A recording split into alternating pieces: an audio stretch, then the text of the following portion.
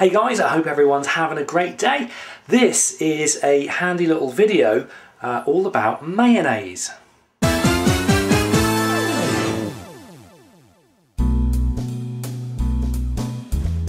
I love mayonnaise. I always have done. It's probably why I'm uh, not the thinnest person in the world.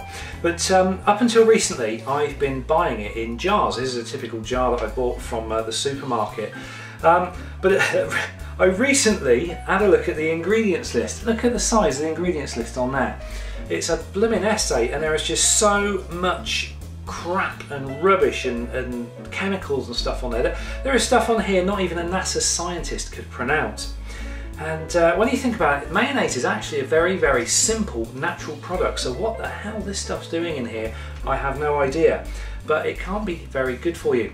So anyway, I've taken up uh, making my own mayonnaise. It's incredibly simple to do and it's so, so much healthier than this shop bought rubbish. So if you want to find out how to make it, I'll show you.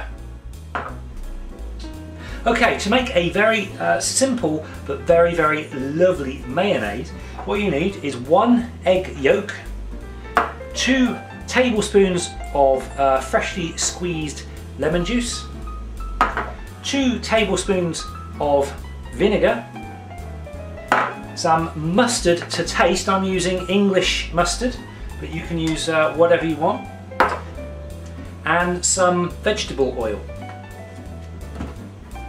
Okay, this is about as simple as it gets, folks. You pour the vinegar in into a bowl, you pour the lemon juice in, and you pour the egg yolk in. Then you chuck in about a, a, teaspoon, a tablespoon rather, of the mustard.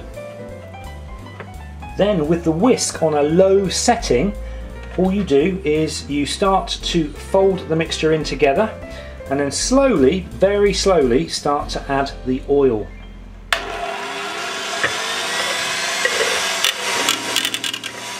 Now you'll find that the, the liquid is quite uh, thin and runny to begin with, but as you gradually add more and more oil, what you'll find is the mixture will start thickening up.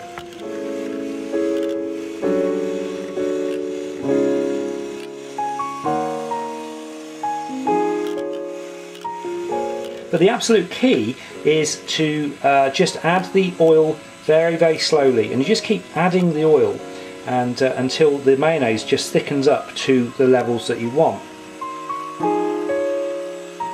You'll be amazed at just how much mayonnaise you can produce from just one egg yolk and uh, two tablespoons of uh, vinegar and two tablespoons of lemon juice.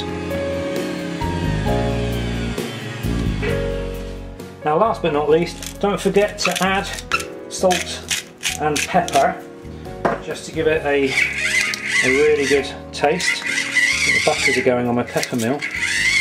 There we go, some freshly ground salt and pepper and I'll just mix those in.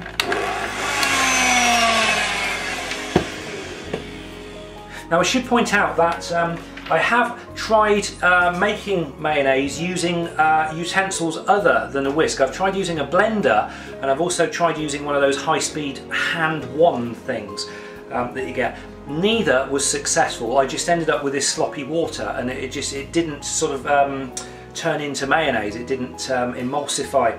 So um, I'd say a nice safe bet would be to use this type of arrangement.